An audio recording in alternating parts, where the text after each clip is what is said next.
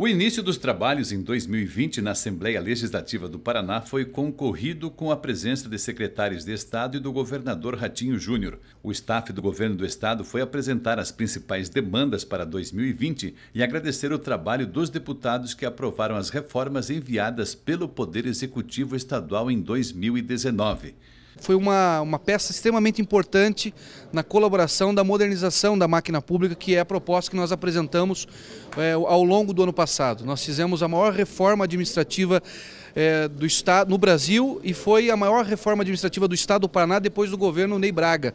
Depois de 40, 50 anos, nós fizemos uma grande reforma administrativa. E claro, a Assembleia Legislativa ela teve um papel fundamental porque foi através dela que todas essas propostas foram apresentadas e aprovadas.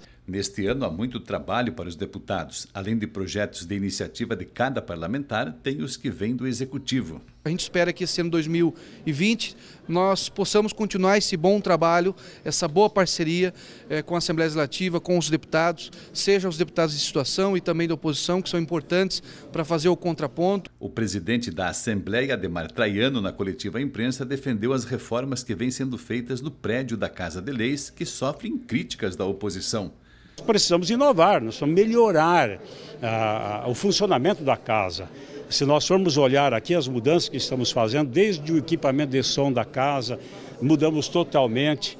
A questão da informatização dos avanços que já tivemos, mas muitas das coisas que precisam ser feitas esbarram na dificuldade de uma fiação na área de informatização, por exemplo, de uma fiação de 60 anos aqui na casa, tem que ser totalmente reconstruído e refeito isso.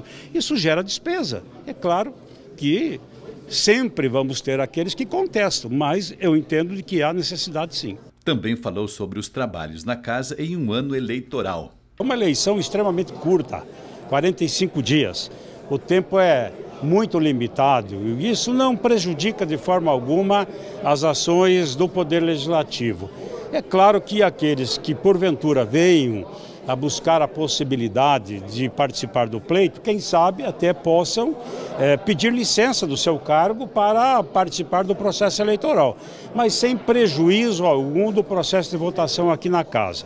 Isso é uma regra que nós vamos estabelecer como condição para que o Paraná não tenha prejuízo e a Assembleia possa, enfim, votar todos os temas importantes do Estado.